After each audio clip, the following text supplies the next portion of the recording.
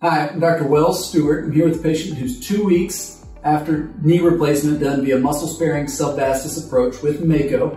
So no cane, no walker at two weeks. How are you doing? Great, great. Never thought I'd do this good.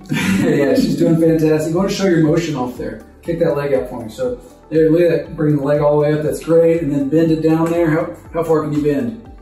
I think she's at about 110 with physical therapy at two weeks after surgery.